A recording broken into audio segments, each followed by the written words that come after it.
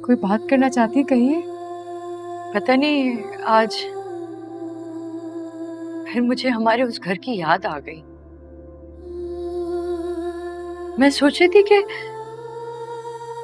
निहाज ने ना जाने उस घर को कैसा रखा होगा।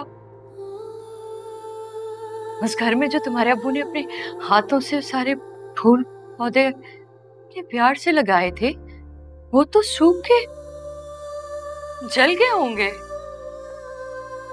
उन्हें जो ख्याल रखेगा, पानी देगा। अम्मी, मैं ये नहीं कहूँगी कि आप आप उस घर को भूल जाएँ, बल्कि वो हम में से किसी के लिए मुमकिन नहीं है भूलना।